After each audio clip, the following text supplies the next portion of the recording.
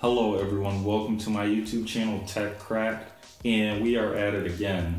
I just want to remind people that we are here to bring up news, we are here to help each other, answer the little questions, and hopefully some of the big ones. So if you can, make sure to comment below on your thoughts on this video. Make sure you like it, and make sure you also subscribe to show some support so that I can continue to put out these videos. So today we are going to be talking about the newest update Android 7.1.2 and it brings a nice new feature to the Nexus 5X and the Nexus 6P and that's a feature that we probably thought we weren't going to get. So this update includes some new security features as always. But we actually get something exciting and that is the fingerprint gesture on the back of the phone. And basically when you activate it, you can use your index finger to swipe down on that fingerprint reader and bring down the notification menu there just to see what's going on.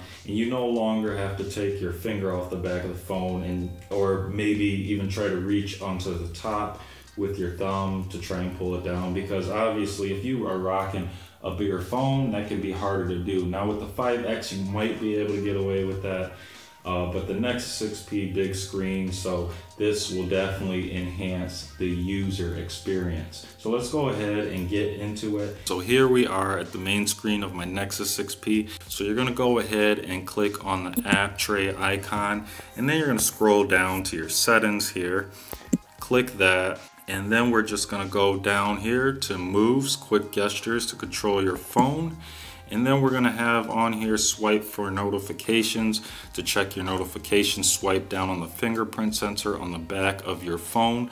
And we do wanna activate that, so that's what we have there. Okay, so let's go ahead and give this a try. We're gonna swipe down on the fingerprint sensor here, and then we're gonna swipe up.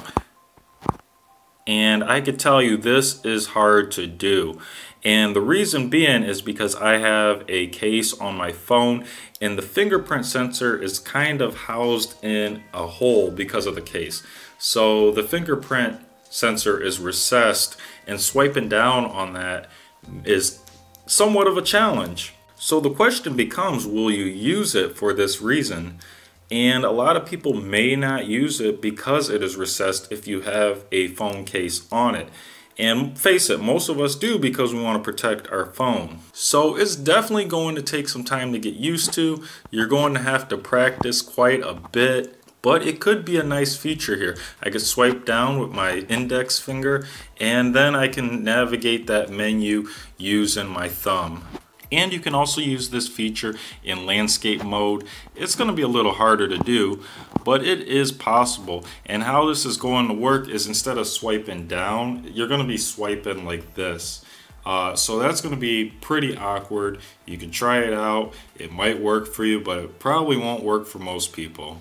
We weren't too sure we were going to get this feature, although the fingerprint scanner is said to be basically the same as what is in the Pixel. So Google kind of had us disappointed. We were all down about it. We were worried we were never going to get it. It was a cool feature in the Pixel.